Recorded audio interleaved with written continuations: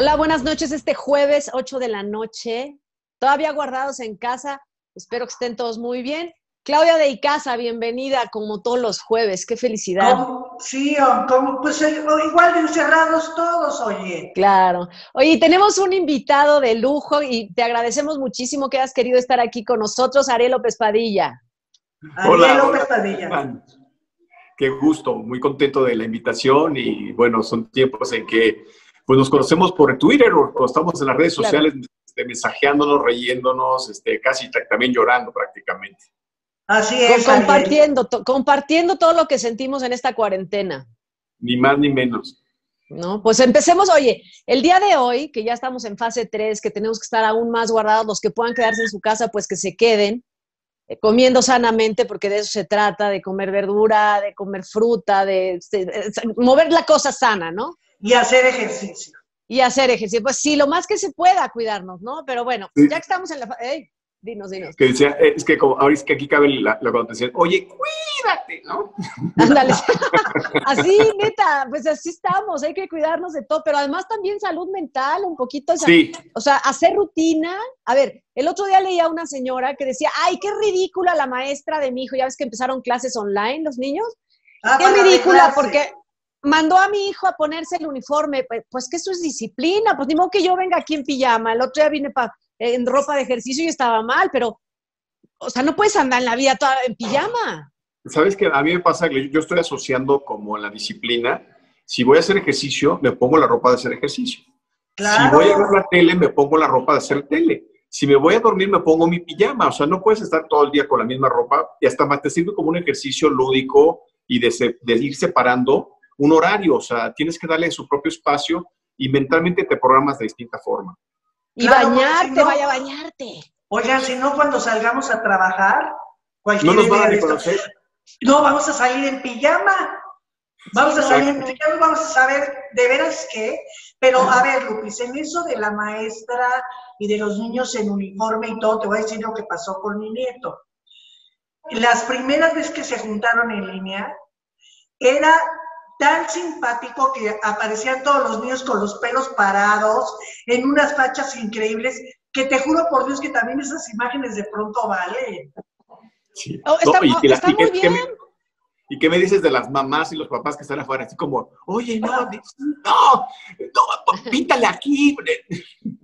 Pero es que, mira, te voy a decir algo, o sea, está, está muy padre, entonces que hagan una reunión de grupo de que hagan su fiesta de fin de semana, entonces ya van todos y despiden, eso es lo que quieras.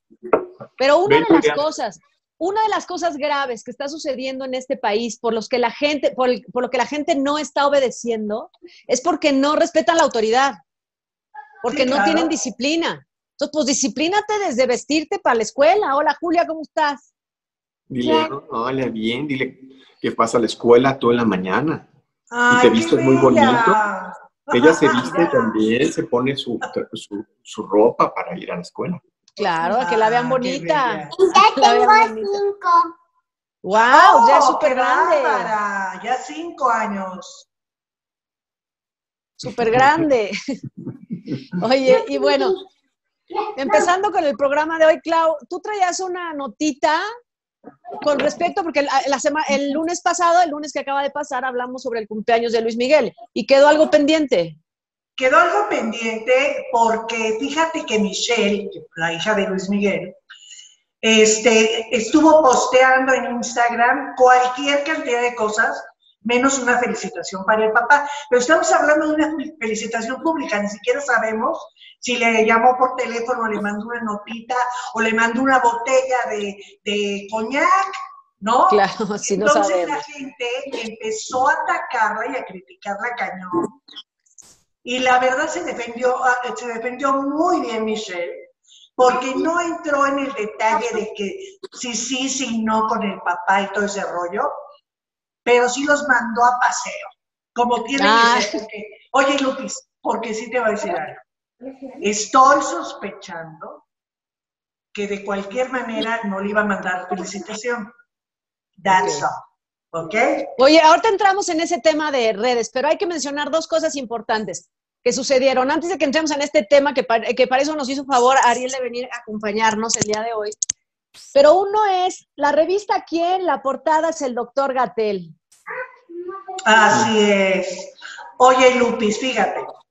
Según estaba yo leyendo, bueno, de pronto sale Gatel en la revista Quién, y tú dices, caray, o sea, la cuatrote en portada de revista Pifi, no entiendo. ándale, ¿cómo?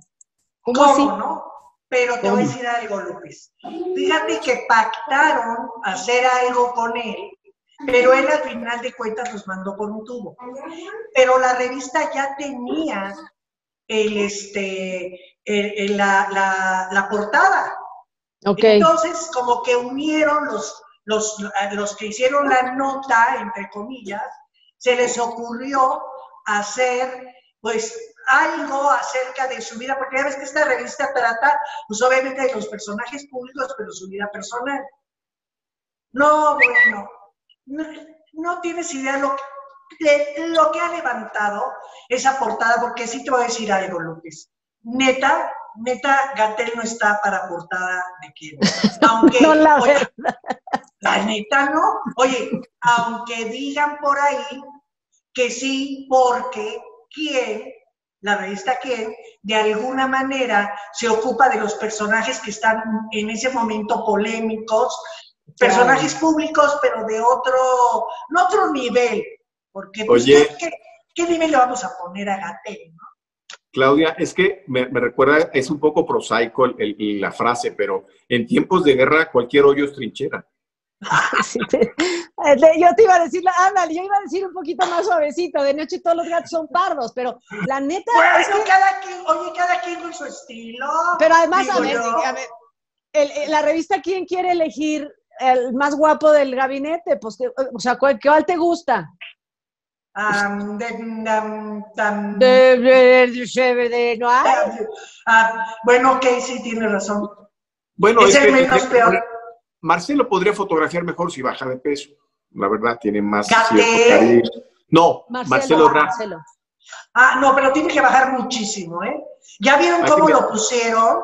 Hay que ponerlo en cetosis. Oye, Pero, pero, Marcelo Ebrard, yo, yo, ya estoy, yo ya estoy confundida. A ver, eh, a la gente no le gusta que hablen de política, pero esto es por la revista Quién, que, que, hablemos, pero nomás es por la revista Quién y es una duda que yo tengo. Él es secretario de Relaciones, secretario de Salud, secretario de Economía, secretario... Eh, es todo. vicepresidente que no existe, es, es eh, todo. Es todo, todo. Es un tema, pero yo creo que me voy, a, me voy a arriesgar a decirlo. Para mí, que es el presidente de, es el presidente de facto en México. Sí. O sea, es el que operativamente ha, ha, tenido congruencia en lo que ha hecho.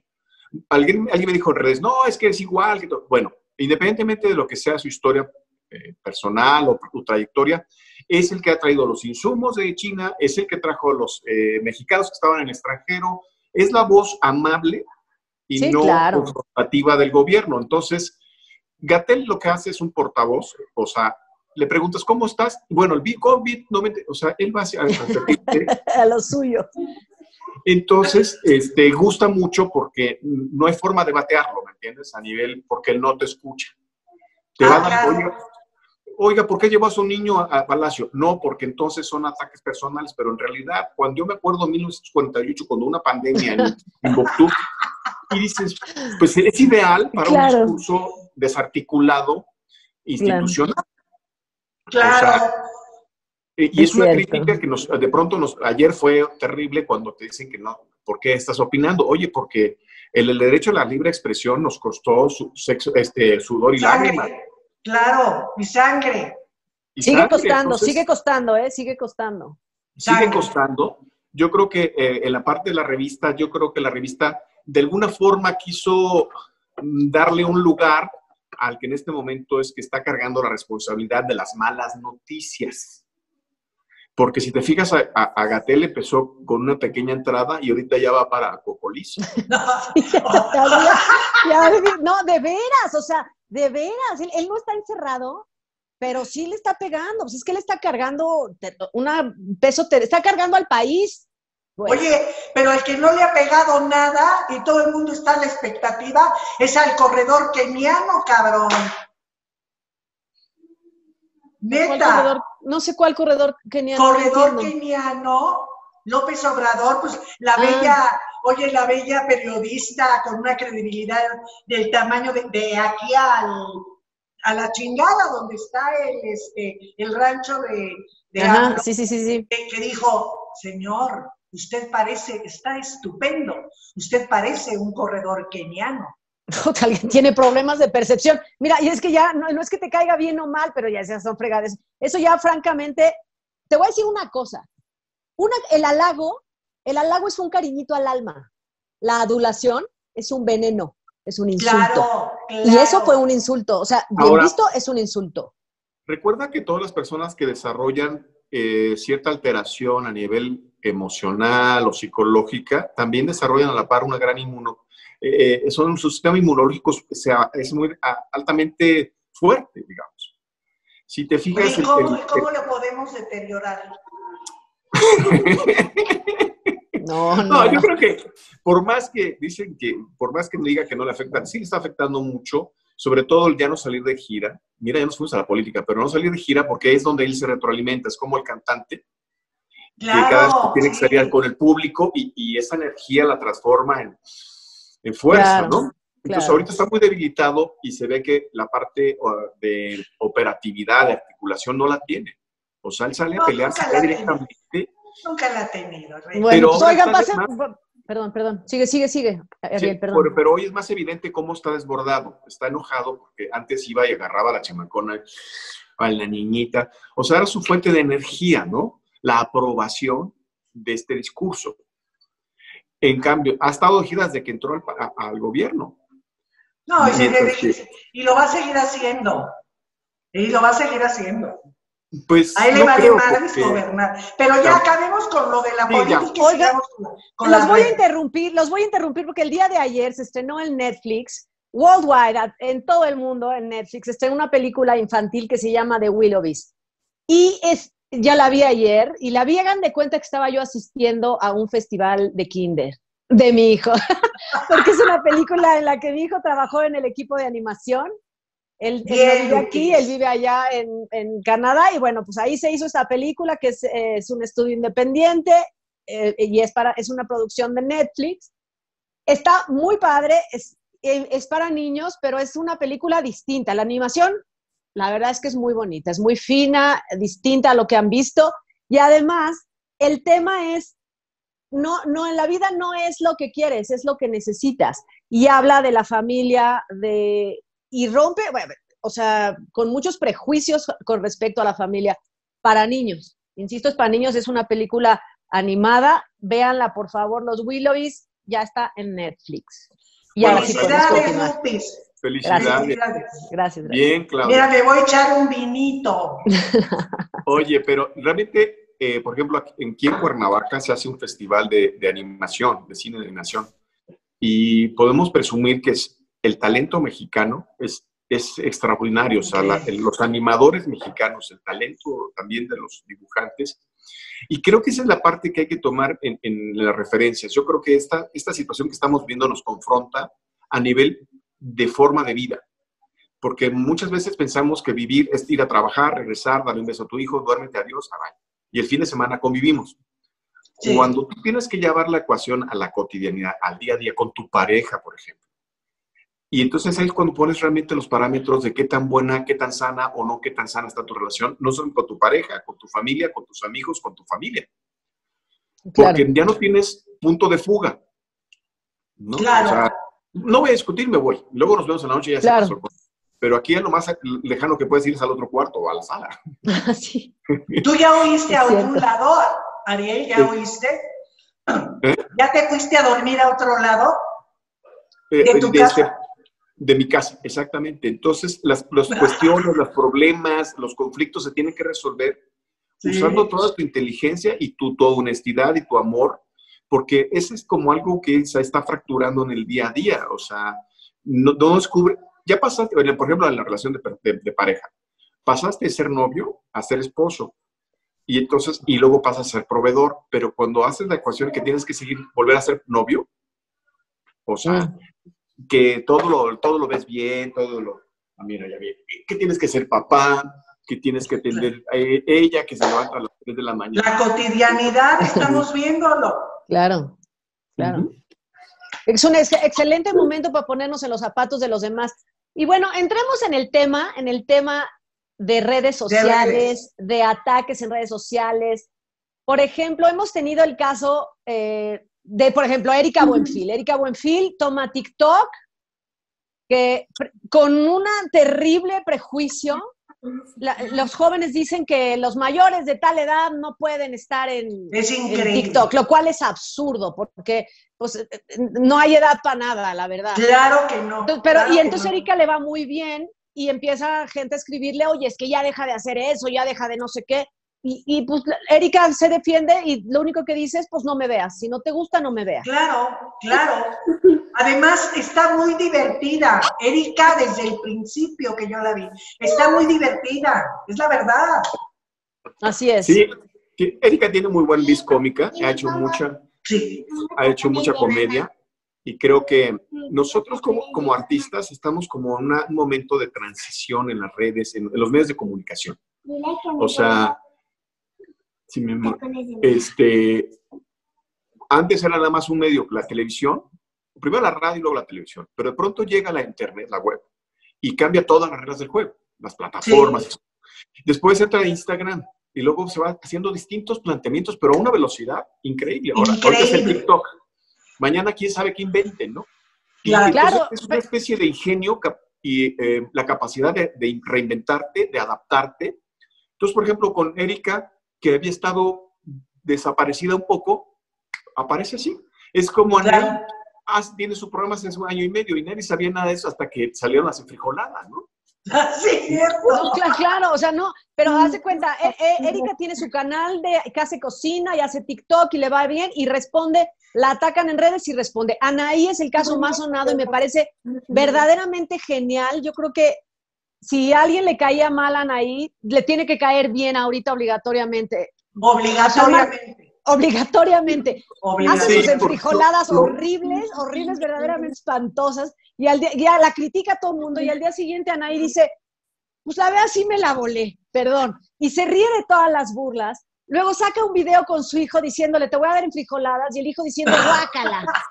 La verdad, me parece un manejo de redes estupendo. Increíble. Sí, ¿sabes qué me gusta mucho? Anaí, yo creo que a partir de ser mamá, ella misma cambió toda su forma de, ver eh, su propia profesión, ¿no?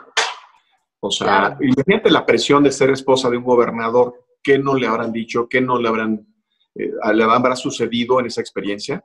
Y ahora como es mamá, como que empieza a ser más flexible con ella misma.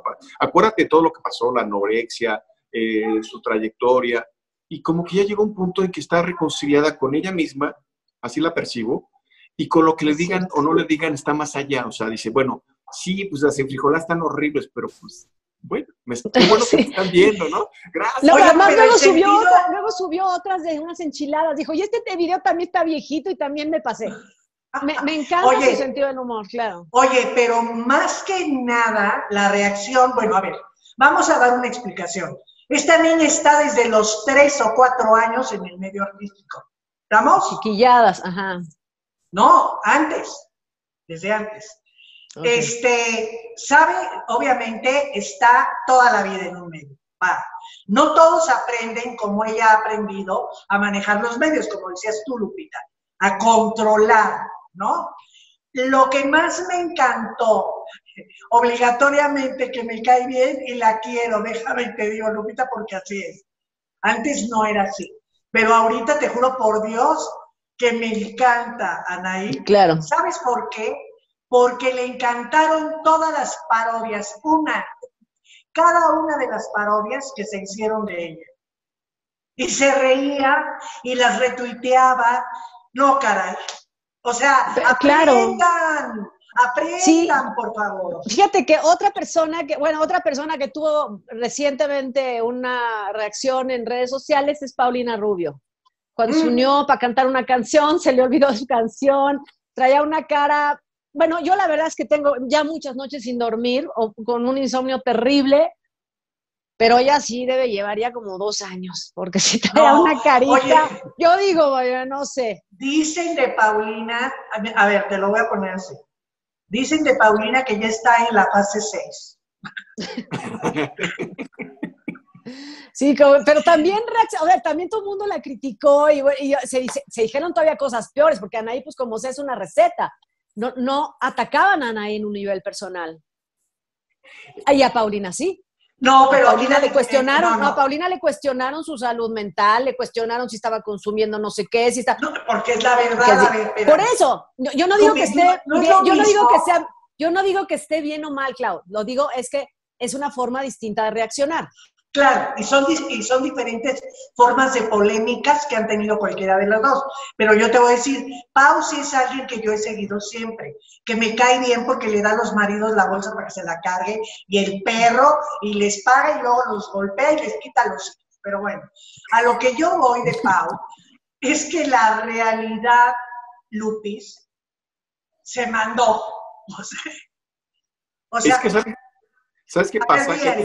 cuidado con, es una gran tentación este, este medio de comunicación que es tan inmediato que de pronto dicen, ay, voy a participar, pero se te olvida que de alguna manera el público estableció un estándar contigo mismo.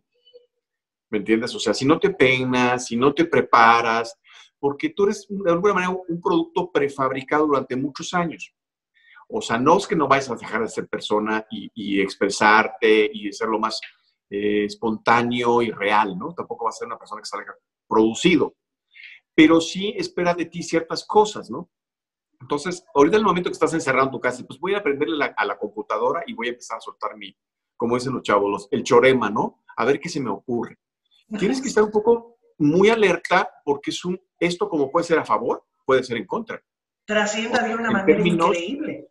De que nosotros seguimos siendo un producto comercial. O sea, todavía nuestras carreras dependen de la aprobación o desaprobación del público. Y yo quiero, por ejemplo, a mí, yo que viví procesos muy difíciles y que tú, Claudia, así también te agradezco, que saliste a mi defensa, ¿no? Cuando me soltaron todo el PRI soviético con todo, la, era, era sepultarme, así como me acuerdo de la película del Hero, ¿te acuerdas que le tiran todas las lanzas para que quede sepultado? Pasas y sobrevives, ¿por qué? Porque tú vas con muy claro decir, no me va a tocar, porque voy a seguir mi camino, porque eso es un momento que estoy viviendo muy difícil y voy a ponerme a prueba, no los demás, yo, quién soy espiritualmente, humanamente. Y eso es algo muy importante cuando ahora en esta nueva era, tener en cuenta de que a veces hay cosas que no puedes hacer, como yo no me veo haciendo un TikTok y me encanta la comedia, me, encanta Chaplin y me encanta, pero si yo no lo hago producido dentro de lo que es mis parámetros de arte, entonces mi espontaneidad puede ir en contra mía. O sea, es, el error es, ahora es más, más, no te puedes equivocar dos veces. Claro. Ah, en términos de, público, el público es muy exigente. O sea, hoy en las, redes eh, sociales, en Facebook, estás encontrando una cantidad de talentos que, te descubre. Esto es positivo, que la gente se empiece a expresar, porque antes nada más éramos unos cuantos privilegiados los que teníamos acceso a la interrelación con el público. Ahora el público es el protagonista, ¿no? Entonces eso es muy interesante y sin embargo, la gente cuando subes un video, en mi caso, para promocionar y ayudar a los empresarios de, de aquí de, una, de un municipio que es este, Jojutla, que es este, eh, los que están en, eh, ¿cómo se llama? En el lago de tengo, la gente lo recibe muy bien porque dices, oye, este cuate eh, nos está apoyando, ¿no?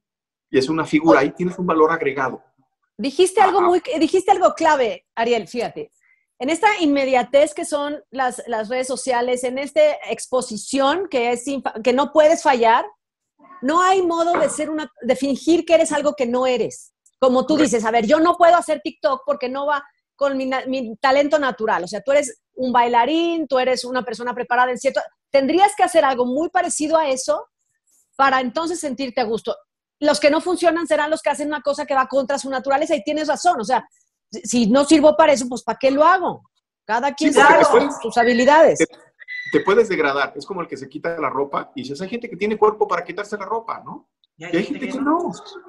Hay, gente que es graciosa porque es graciosa. Es como, ¿te acuerdas? A nosotros nos exigían dicción, saber caminar, eh, postura shakespeariana, cómo hacer comedia de Molière. Y ahora es, decir malas palabras y, y, y eso es lo que está en este momento en un transitoriamente, porque yo lo veo como un momento transitorio. Finalmente puedes escuchar cumbia, reggaetón, pero siempre va a estar ahí Mozart y va a estar Bach y, va a ser un referente a lo que es la estructura. Yo creo que todo esto que está pasando replantea todo lo que es los medios de comunicación. ¿Cómo vamos a reestructurar para dar contenidos inteligentes? Porque esa es la bronca. Claro. La gente empieza a tener contenidos de 30 segundos y ya no tiene tolerancia a ver tres minutos. Eso, ¿eh? Sobre todo eso, qué barbaridad. Ciertamente, así es, como tú dices, pasa así todo, pero así todo también lo queremos, rápido. Pero eso está mal, a ver, te voy a decir una cosa, yo creo que ese tipo de, productos que se consumen rápido y la falta de lectura, la, mucho dedicar tiempo a estas redes sociales y a los medios de comunicación, además de que te afecta a la vista, yo creo, hay una cosa, hay una falta, hay, una, hay muchísimos prejuicios, aunque parezca que es una sociedad más libre, es mentira, porque decir que una persona no puede vestirse de una manera o que una persona no puede hacer TikTok, o que pues es una, es una, terribles prejuicios, crecen y crecen. ¿Por qué Anaí no puede hacer unas enfrijoladas asquerosas? Pues si se le da la gana, pues que las haga. O sea, ¿qué tiene? Pero, pero ya hay mucha, muy poco, muy poco, muy poca tolerancia. Eso es lo que está pasando. Y hay una cosa terrible también. Y ha pasado en este programa, como seguramente a ti te ha pasado cuando escribes en redes, querido Ariel. La gente no comprende. No comprende lo que escucha, no comprende lo que lee. A veces no comprenden lo que ven. La lectura de comprensión que siempre Tergiversan, tergiversan. Eh, eh, el otro día una persona escribió una frase, pero la escribió aleatoriamente, o sea, la puso y ya en Twitter.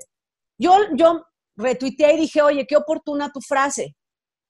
Y la gente empezó a decir, claro, ¿por qué te atacaron? Yo, pues a mí nadie me atacó. Yo, o sea, un mínimo de comprensión, un mínimo de comprensión. Eh, pero eso nos pasa por consumir rápido, ¿eh?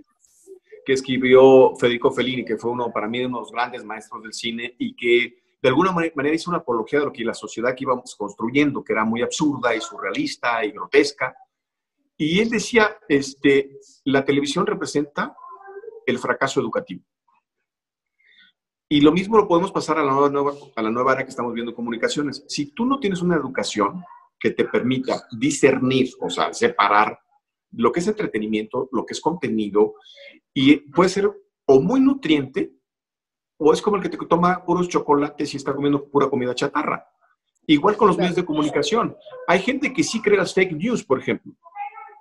Sí, claro. sí cree los discursos y las recetas mágicas y todo lo cree porque no tiene esta capacidad de separar. Entonces, lo que tú acabas de decir, no es que no podamos tener el derecho a la libre expresión. Yo creo que ese es el derecho sagrado que tenemos los seres humanos. El problema es cuando se vuelve tendencia, y te acuerdas aquel eh, que estuvo de moda de agredir, que era el que daba pastelazos, bajaba calzones, y, y nos reíamos, ¿no? Y dices, no, es que es una agresión, es un delito incluso lo que estás haciendo, pero tienes 60 millones de seguidores. Entonces, hablan como sociedad de que a veces te llama la regulación, porque a mí me hace algo, algo, alguien algo así y lo, lo, percibo hasta el fin del mundo para decirle, espérame, no me falta respeto, ¿no? O sea, se vale todo mientras no me agredas, mientras no rebases. No, claro. Pero eso, eso se llama educación y respeto. Por supuesto que eh, a lo que yo me refiero con que cada quien puede hacer lo que se le dé la gana, me refiero que se vista como quiera en su, o sea, lo que sea para ellos está bien. No puedes ir y faltarle al respeto a nadie, eso claro que por supuesto no puedes hacer, y mucho menos cometer delitos y bajarle los calzones a alguien, pues claro que no, eso no está bien. Y, tendrá, y como dijimos al principio, habrá que vestirse de uniforme para tomar una clase o darse una peinadita para hacer un programa, algo, ¿no?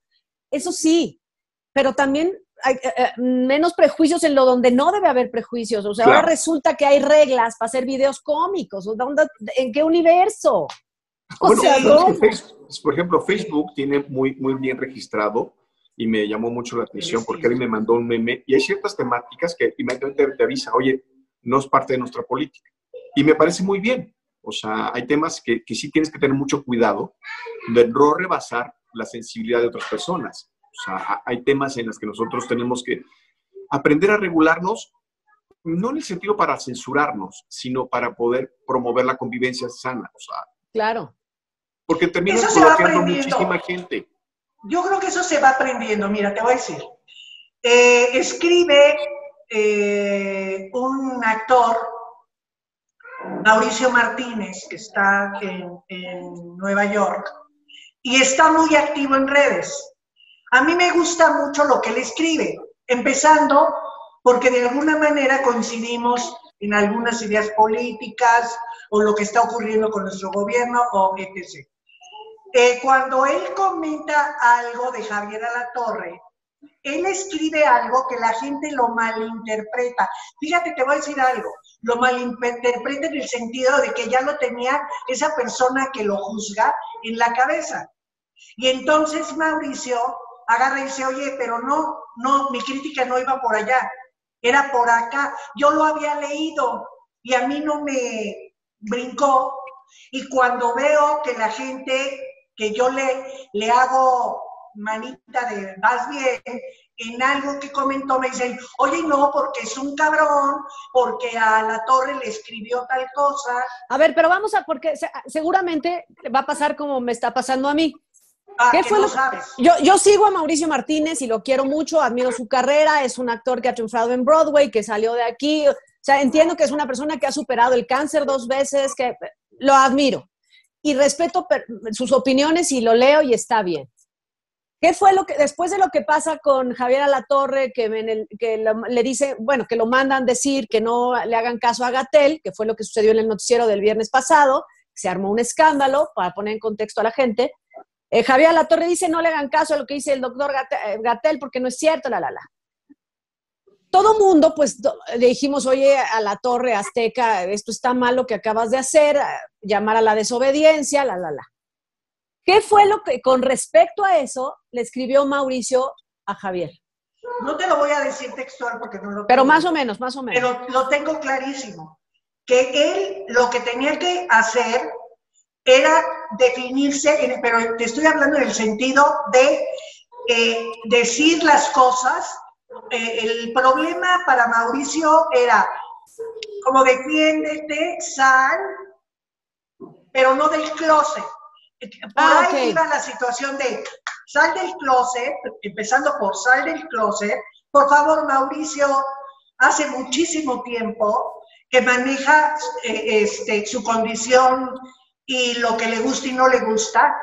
Y no creo que haya ido por ahí, ¿me entiendes? Y la gente por ahí, pero si tú, y empezaron a atacar a Mauricio. Pero si tú de qué hablas, si tú eres esto, tú eres el ah, tergiversaron, es lo que te decía, lectura de comprensión, tergiversaron. Seguramente Mauricio se refería. Además, creo que no es el caso. O sea, yo creo que eh, tus preferencias eh, están al margen de lo que era el comentario, pero fíjate cómo se usan las redes para debilitar lo importante. Lo importante es que cuando, por ejemplo, yo soy amigo de Sergio Aguayo y empezó como que era muy, muy prudente en sus observaciones. Dije, Sergio, no puedes ser prudente en medio de una pandemia. Tú tienes los datos duros de lo que está pasando a nivel sociológico y tienes que hablar porque eso es, tú eres un investigador. Independientemente de la calificación política o lo que te puedan decir, tú vas a dar el punto de vista científico, o sea, analítico. Me dijo, sí, eh, tienes razón, o sea, se me olvida, se me olvidó el principio de lo que es hablar con la información por delante. En el caso de, de, este, la torre, obviamente se vio como en la parte empresarial, como que estoy dando una, instrucción. Entonces, él está empleado y contratado por una empresa, al que, cual le debe absolutamente todo. Todo. Entonces va en contra del periodismo independiente, que ese no, no recoge su cheque cada 15 días. Claro. Que es muy distinto el que anda en la selva y se come lo que, si tiene que comer culebra, come culebra y Pues claro. No es lo mismo que llegue este, tu depósito y digas, ay, pues ahora qué me compro, ¿no? Y yo creo que ahí es donde tú tomas la decisión ética. ¿Cuántos eh, y grandes periodistas o mismos que tuvieron, tomaron la decisión de decir, ¿sabes qué me hago un lado, no? Porque no estoy de acuerdo. Porque vale más mi carrera como periodista que lo que me pueda dar el estar aquí protegido, ¿no? Y eso es la maravilla de estas redes sociales, que puedes vertir conocimientos y opiniones, pero como dicen, en base a los hechos. Ahí es cuando a mí se me hace muy débil cuando la gente empieza a atacarte por tu pasado, por tus historias. Y dices, eso no tiene el caso, no viene porque él está revolviendo cosas que no son el punto. Pero ah, claro, es, claro, es lo que, esa es una estrategia que es una, es terrible porque es una falta de cultura y es una es un desviación de una argumentación inteligente. Cuando, a ver, si Mauricio, lo que está refiriéndose Mauricio Martínez, que por cierto aguanta vara muchísimo, eh, o sea, le, tiran, le tiran y él responde y yo, pero bueno, a lo que se refería Mauricio era define tu posición y, no, supongo que no seas esclavo de este medio, ni esclavo del gobierno, no, no seas el títere de los que te están mandando a informar, para, porque al final el que más atacado fue, fue Javier Alatorre. Pero bueno, la gente lo que hace, la gente lo que hace a la hora de desviar la argumentación y desviar todo, para que, esto es lógico porque son los defensores del gobierno en este, en este caso, ¿eh? y como puede pasar con un famoso, no famoso, eh, la maestra, me da igual. Lo que hacen es desviar la atención porque lo importante es Grupo Salinas, lo importante es el gobierno federal, lo importante es el periodista que mandaste, y vamos a, vamos a, tergiversar el comentario, Mauricio, y a jalar gente para echarle por este lado. El problema no es, el problema no es el, la primera persona que tergiversa, el problema son todos los borregos que le siguen. Claro. ese es el tema, fíjate, cuando ya te vuelves un feligrés y no una gente pensante en redes, eh, ahí entra el problema. Es como cuando tú cuestionas a los de la luz del mundo, oye, hay pruebas, hay videos, hay testimonios, y dices, no, no, no, él es inocente. Nos lleva a Marcial Maciel, nos lleva a toda una historia de que el, no, el problema no es el que comete el acto, sino los, que, los, los otros que no quieren aceptar su error. Claro. O sea, es más doloroso decir, oye, me equivoqué, esta persona o sea, yo te puedo decir, yo voté por López Obrador, porque estaba Julio Scherer, porque estaba un equipo de gente muy brillante, y he visto cómo los va ido sacrificando. Entonces mi postura cambió completamente, decir, oye, es que si yo no soy crítico, eh, voy a acatar ser feligrés de algo en lo que no, no creo. Sí, claro, hay que cuestionar. la democracia. Es importante. eso se trata. calificar a todo un gremio de, los, de periodistas que ABC y X, Y o Z estuvieron en un sistema. Es como cuando dicen, es que estuvo en el partido comunista, sí, pero salió del partido de Cuba, ¿no? En Cuba nada más hay un partido, salió de ahí y, todos eran, o se llamaban Fidel o se llamaban, o eran del partido comunista. Entonces, aquí también eran, eran del PRI porque era, era el único medio que había para transitar políticamente. Entonces, no le vas a quitar a López Obrador su prismo, su, su parte operativa que tenía mucho que ver en los años 70, sus maestros, ¿quién fue? Echeverría, el mismo Salinas. Entonces, sus modos, lo que, lo que tú les exiges es que te adaptes a la, al mundo global, donde ya hay un socialismo de Trudeau en Canadá, donde ya Europa ya pasó por el socialismo, el neosocialismo, y donde tienes que adaptar las ideas abriendo la puerta a los jóvenes. La única persona joven es la, la, chica de trabajo. Todos los y Gatel, y Gatel. Y Gatel, ¿no? Pues que, es el descubrimiento. Yo creo que para mí que Ana Colchero le dio clases. Ándale, ándale. De cómo hablar en público. Pero es que, aquí, aquí el punto, aquí el punto, para cerrar lo que decía Ariel, es deja tú lo demás, los periodistas, hablando de lo de Mauricio, de defínete, es, también defínete, eres periodista, empezando por ahí. Si no lo eres, pues estamos bien pinches jodidos, ¿ok?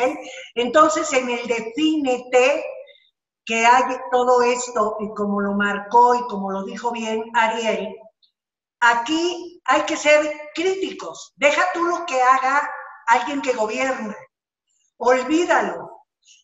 Tú votaste por él, perfecto. Nada más que tú, tú ciudadano, pero tú periodista, que es tu obligación de estar así siendo crítico eh, eh, viendo lo que está ocurriendo, creando opinión, no, no llevando como borreos a la gente, creando opinión con el análisis que puedas hacer tú, que eso es lo que está pasando con los chairos. Punto. Claudia, lo que pasa es que la historia no nos va a perdonar que teniendo la posibilidad como figuras públicas expresar las ideas críticas. Porque si pasa el tiempo y esto se agrava o se descompone como se está llevando, o sea, ocultar cifras de contagio, todo esto que es eh, para alguna gente pensante que hemos estado en los medios y que tenemos acceso a la información, es como cuando le pinchamos el globo a Eduardo Ruiz Gil, ¿te acuerdas? Ah, que estaba así muy, muy, muy suavecito, le dijimos, oye, eres periodista, brother, comes de eso, o sea, ya se te olvidó de qué se trata, esto es como cuando entras a una obra de teatro y te dan un día para ensayar, y te, lo, puedes hacer o no lo puedes hacer. Claro. no duermes y llegas así todo estraqueteado, y, pero lo hiciste, ¿no? Y te dicen, oiga, ¿cómo le hizo? Pues, bueno, ese es mi trabajo. Es como un médico que le dicen, se acaba, se está desangrando, pues el médico va a llegar y no se va a poner la bata, peinar, la foto, va a llegar a hacer lo que sabe hacer, punto. Se va a decir, y no va a decir, ¿me pueden aplaudir? Es su trabajo. Ah, te voy a decir algo también. Perdón, ¿Mm? sigue, sigue. No, no, que esa es la parte en que yo creo que es un tiempo de, ser objetivos, de reconocer que hay, un, que hay una buena intención, pero con intenciones no se, no se, no se gobierna. ¿no? Se, ah, gobierna con una estructura. Yo creo, yo creo que todos, o sea, entiendo que las figuras públicas tienen una responsabilidad por la cantidad de gente a la que llegan, es cierto, y son voces. Pero también mencionamos que esta apertura de redes sociales y esta apertura que tenemos ahora que todos pueden llegar, aunque no sean famosos, tienen que alzar la voz. Y no quiere decir que todos tengan que oponerse a algo, no. Sencillamente por el, por el único hecho de ser ciudadano, habitante del mundo, tienes que cuestionar, no criticar, no juzgar, cuestionar. Cuestionar es nada más pasar una creencia por un proceso y si sobrevive la mantienes y si no sobrevive la cambias. pero hay que cuestionar. Si no cuestionas, entonces caes en un, en un, dogmatismo terrible. Ese es por, eso es por un lado. La gente tiene que abrirse a esta posibilidad de, de que los demás lo hagan. Ahora, ser objetivos también es algo muy relativo, porque la objetividad que puedo yo tener es el punto de vista desde donde yo estoy parada. Y tú desde tu punto de vista y Claudia desde el suyo. Y cada habitante del mundo tiene un punto de vista distinto. Entonces la objetividad se vuelve relativa. Y ahí es donde entonces tiene que entrar el respeto. Sí, mira, por ejemplo, lo que pasó con Talía, y con Eugenio Derbez y con Chicharito, que son grandes figuras que nos, de alguna forma nos representan, pasas de ser amado a odiado a la velocidad de los bots. Un minuto a la velocidad de los bots. Es increíble. Y además te voy a decir algo. Digo, no quiero retomar tanto eso porque ya se ha dicho mucho, pero lo que hizo, analicen con objetividad lo que dijo y salió a decir Eugenio Derbez, porque unos médicos acudieron a él precisamente porque es un personaje público y porque hay mucha gente que lo puede escuchar. Lo que dijo Chicharito no tiene nada que ver a nivel político, nada. Lo que dijo Talía es lo que yo puedo decir en mi casa acostada grabándome en cinco minutos porque se me ocurrió, pero que fue gran cosa lo que hizo Talía y lo que movió Talía, pero ya se convierten para esos gente que está dogmatizada, ya se convierten en enemigos de, de, y entonces en ese momento, si Talía te encantaba cómo cantaba, si Derbez te encantaba cómo era como, como comediante, si Chicharito como futbolista, te odio. A mí me parece patético verlo en las personas eso, porque yo lo que más aplaudo, y lo aplaudo a Ariel, y le aplaudo a Mauricio, y le aplaudo a todos los artistas, los ya mencionados, y muchísimos que no puedo mencionar, porque son muchos, que están siendo voz. Voz de la gente que no tiene esa posibilidad, pero que piensa igual que ellos. Yo creo que por ahí va la cosa, no tanto que si yo soy objetiva, estoy diciendo, no es la objetividad, es que al final de cuentas estoy diciendo lo que se está comprobando con documento, como yo digo. Pues es que, un documento. Clau, si no es que volvemos a la fórmula más simplista de lo que fue el fascismo.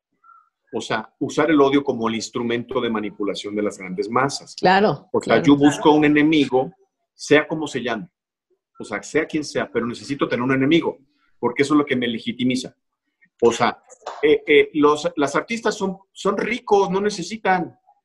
Oye, qué argumento tan falaz y qué argumento tan, tan injusto y tan estúpido, perdona que diga la palabra.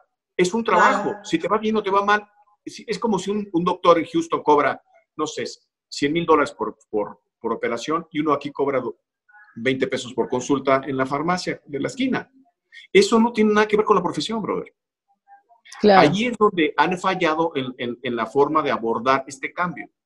Tú no puedes conducir un cambio a través del odio, sino a través de la construcción y de la conciliación y de reconocernos que vamos en el mismo barco, como dicen. Entonces, cuando tú polarizas una sociedad y después la quieres reconciliar, yo quiero ver qué va a pasar cuando la gente humilde, la gente que no tiene los medios para quedarse en su casa, se quede sin comida. Que ya está pasando, ¿eh? Que ya está pasando.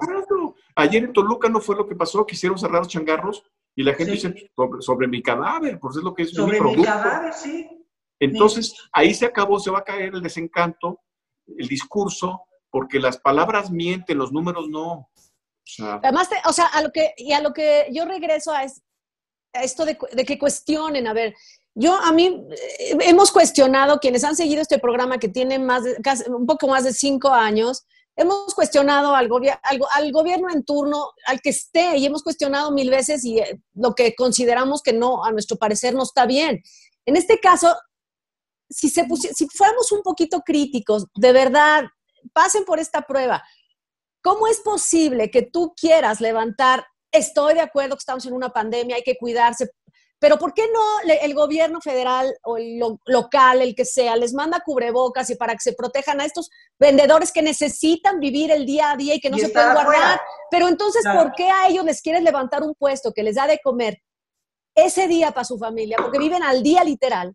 Y permites que una cadena de tiendas que manda llamar a la desobediencia siga operando mueblerías, chinga, poco comprar una sala es, es, prioridad, perdón, pero perdón, pero no puede ser que la gente no se dé cuenta de que este gobierno favorece a, un señor que se llama Salinas Pliego, que puede llamar a la desobediencia en un país, que puede permanecer sus mueblerías abiertas con contagios de sus trabajadores y quiere levantarle a un puesto a una señora que vende verdura.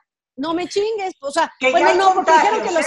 Dijeron que no, que a los indispensables no les había levantado el puesto, pero al que venda me importa brochecitos para el pelo. Bueno, si el señor vende brochecitos para el pelo, para él es indispensable porque de eso va a comer ese día él y su familia. Pero fíjate el tema, volvemos a las monarquías, o sea, el favor del rey. A favor o sea. Eh, eh, eh, o sea, cuando Molière tenía el favor del rey porque escribía las comedias y todo, y nadie lo quería en la corte, hasta que Molière se dio cuenta de Luis XIV, le dijo, oye Molière, me dicen que, porque lo dejaban comer con en, el, en, el, comedor con todos los, los intelectuales, ¿no? Porque él era, eh, primero era tapicero del rey, era su título, pero era el hombre que más hacía las obras de teatro en, Francia. Entonces se lo encuentra en el pasillo y dice, oye, me dice que no comes muy bien, y el otro le dice, no, sí, sí como bien, no, ven, acompáñame, y lo sienta a su lado, cosa inaudita, para mandar un mensaje a todos los demás de que era el protegido. Creo que eso está, pasa con, con, la gente que está en, el, en, en, este discurso de hay que caerle bien al jefe, es lo único que importa. Y si estás bien con el jefe, no hay problema. Cuando el, la crisis nos va a rebasar, es que hay que tener dos dedos de frente para ver lo que está pasando. Entonces, un día justificas y acabas a, a Leo Zuckerman es un analítico brillante, es un tipo que ha abierto muchos canales en la televisión abierta en términos de, de, pronunciamientos, y lo descalificas porque habla mal de ti. Entonces ya, ya, ya perdimos la objetividad. O sea, si del río, claro. Si tu, tu, actuación fue pésima y yo digo, no, es que sabes que ese día mi niño tenía fiebre. No, pues estuvo mal, hombre. Si a la gente no le importa. O sea, tu decisión fue mala. Entonces, ahí es donde estamos en los juicios de valor. Ay, si no me caes bien, te suelto toda mi tropa, ¿no? Porque además son muy agresivos, los investigadores tienen dos seguidores, entonces digo, pues es bot. No, bueno, yo no te quiero decir la cantidad de insultos que nos van a llegar en este programa, pero bueno, ya los tendremos venga, que tiro, por viaje. No, pero bueno. A mí me, por ejemplo, buscó una de las que los formadores, estos captadores de, oye, ¿por qué estás en contra de? ¿Qué opinas de esto? Mira, me mandó mensaje de todo lo que se estaba haciendo bien. Le dije, ¿qué opinas de dije, Nada que no se conozca de los años 70 o de, lo, de la revolución bolchevique o de la revolución mexicana. Es la misma línea política. O sea, no me sorprende nada, es un refrito. Le dije, además, este, no, no necesito a la policía cibernética del, del régimen para que me esté vigilando. Me bloqueó. Digo, es que tienes que abrirte al diálogo, o sea, esa es la democracia. Yo puedo estar de acuerdo o no de acuerdo con lo que dices, mientras en la, cuando unamos las ideas nos lleve algo, un resultado mejor que el que tenemos, adelante. Pero si tú la pagas y yo, le, y yo también la pago, entonces el que sea, sale afectado son los que no tienen esa, esa formación o ese, tuvieron esa oportunidad de tener acceso a los medios de comunicación, a que los demás nos vean. O sea, yo no, amigos míos muy queridos están como, no, hay que salvar. Le dicen, no salves lo insalvable, el barco se está hundiendo, ¿qué hacemos? ¿Lo reparamos? Sacamos. No, pues hay que salvar, lo que hay que salvar es al país, punto. Hay que salvar, y al país solamente se le puede salvar con la verdad, punto. Con la verdad. Y perdiendo amigos, entre comillas. Es absurdo. Perdiendo amigos. Aquí Pero, pues, bueno. los grupos delincuenciales en la plaza, aquí entregando despensas con armas largas. Y si te parece que estamos bien gobernados, algo no estamos haciendo bien. algo no estamos haciendo bien. Hordas así de, tribus talibanas que van a hacer lo que ellos quieran. Oiga, antes de cerrar este programa y de que terminemos, yo me gustaría que hiciéramos un llamado a toda la población, pero toda, porque no puede ser que en este país vivamos en esta tal barbarie que se agreda a enfermeras, a médicos, a técnicos, a paramédicos, a laboratoristas. No es posible que quienes están salvando vidas tengan que sufrir agresiones, mordidas, golpes, café sirviendo, ácidos, cloro, o sea, por Dios, un mínimo de empatía. de esta crisis, de esta crisis que estamos viviendo de esta, de esta pandemia, es que ha, surgido lo más oscuro de, de, nosotros, no lo más positivo. Yo estuve en 85, he estado en los dos sismos más trágicos, he estado en otras eh, emergencias, en inundaciones, porque me dedico a eso a veces a participar y siempre había un espíritu como de, ¿en qué te ayudo? Estoy contigo. Y en esto ha sido como una degradación, o sea, es... Sí. Primero sí me meto en mi casa, pero mejor ya no. Y, la gente dice, no, pues sí va a salir, ¿qué importa? O sea, está sacando la parte más oscura de nosotros, que eso es, lo más preocupante. Entonces, si los que están dando la batalla son los policías, los soldados, los médicos, los las enfermeras, y son los primeros que estamos atacando, estamos mal, o sea, yo veo a los policías tan expuestos en la calle. El otro día sacaba eh, una persona una foto de trabajadores en las obras del metro, algunos con cubrebocas, otros no. Hasta trabajadores que tienen que salir, pero obligatoriamente, porque además trabajan, para, por ejemplo, Dos Bocas no se ha cerrado y la gente está trabajando ahí. Sin, o sea, por Dios, hay que ser un poco empáticos, como tú dices, con bomberos, con policías, con los que están Yo veo a los muchachos que vienen a recoger la basura, algunos traen cubrebocas, otros no. Oye, una buena propina o regálales un cubrebocas o algo, hay que hacer algo por los demás, pero no lastimarlos. Sí, definitivamente. Es que ahí, es cuando empiezan. Oye, yo cerraría. Las, políticas de gobierno. Claro, yo cerraría con esto que dice Ariel y fíjense bien. Ay, no es que sea cabrona, pero la verdad es un buen análisis, ¿no? Está abierta la construcción de dos bocas, gobierno. Está abierto Electra para que vayan a comprar sus electrodomésticos. Urgentes. Está abierto y es urgente. Ese, el señor Salinas Pliego es el que, este, el consejero de, del presidente. Del rey, digo, perdón, del presidente. Ay, no, perdón, un consejero, ¿no? Algo así. Ok. Asesor financiero. Ah. ah, yo creo que aquí hay una frase que me gustó mucho del de presidente Obama, y es una frase hecha quizá, pero que decía, it's not about me, no se trata de mí. Creo que eso es algo que tiene que entender el, señor presidente. No se trata de él, se trata de México. Y no se trata del pueblo, el pueblo somos todos. Si lo traducimos a inglés, people es todos.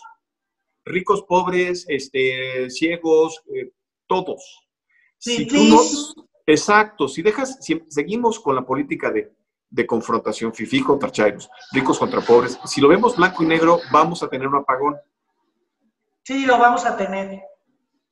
Entonces, aquí es como abrir el diálogo, abrir que los, la, parte operativa, me refiero a los Marcelo Ebrard, me refiero a la Claudia Sheinbaum, gente muy inteligentes, tienen que cuestionarlo y tienen que de alguna manera detenerlo.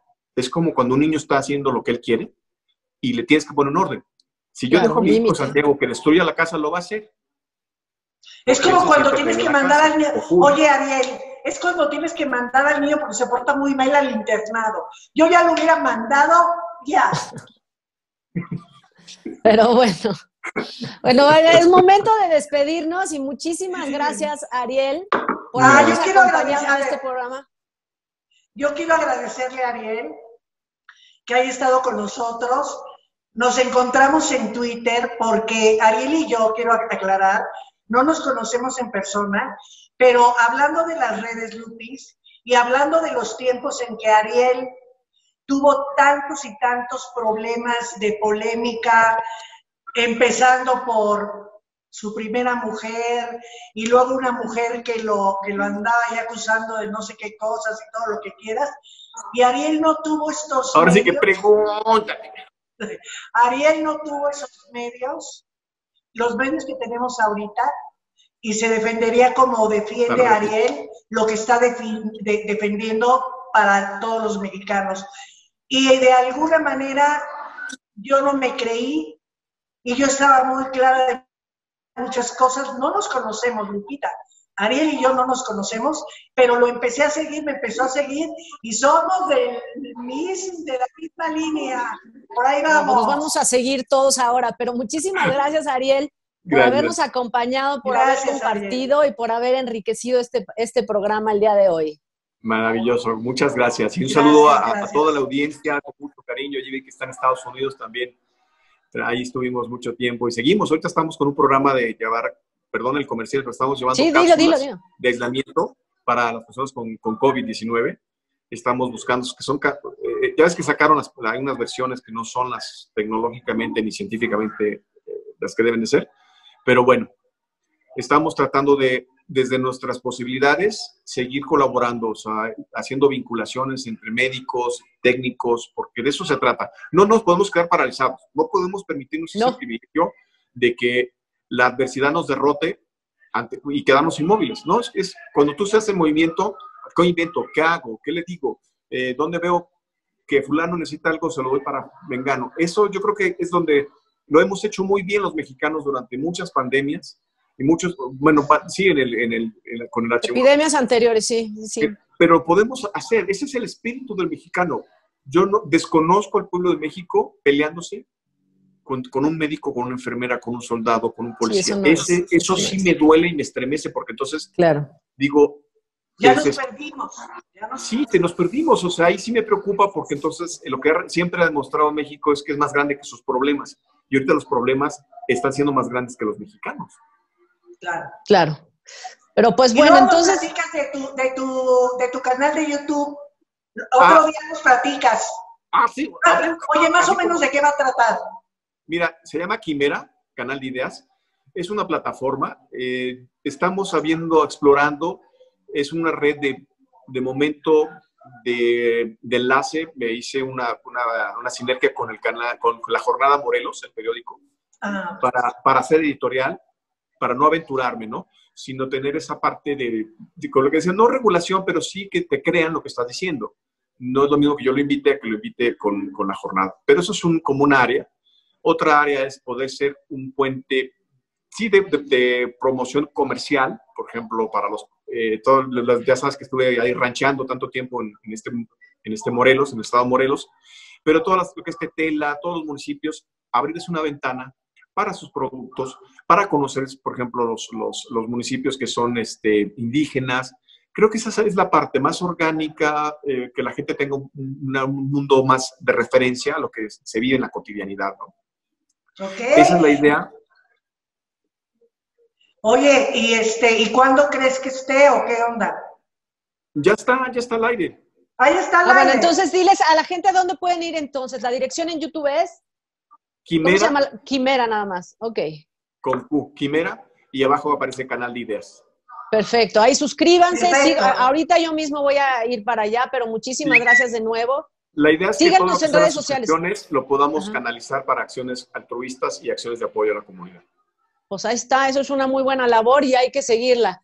Y bueno, síganos a nosotros en redes sociales de Historia en Historia, en Instagram de East, en East, en YouTube, en, en, en Twitter, eh, también estamos en Facebook, también, bueno, pues ahí nos buscan, por favor denle clic, póngale campanita al canal, suscríbanse, síganos, recomiéndenos o critíquenos también, pero sin insultos, por favor. Pero sin bueno. insultos. Muchísimas gracias a todos. Gracias por estar aquí con nosotros y nos vemos el próximo lunes. Gracias. Pues ya está lista ahora sí nuestra tienda, clave. Todo lo que nos habían pedido que querían comprar, ya está listo en el link que pueden ver aquí abajito. Esta es nuestra primera serie de playeras que se llaman Frases de telenovela. Frases de telenovela, ¿qué tanto les gustan a ustedes? Bueno, pues ya están Aquí está, por ejemplo, esta que dice, si tú no eres mía, no serás de nadie. Y hay otras frases. Gorritas. Así es, se pueden meter a este link donde está, el, eh, pueden encontrar todas las frases, los colores, las tallas. Y por favor, compren. Los esperamos. Y las tacitas también. Tacitas, si nos mandan su foto, la publicamos y la compartimos. Gracias.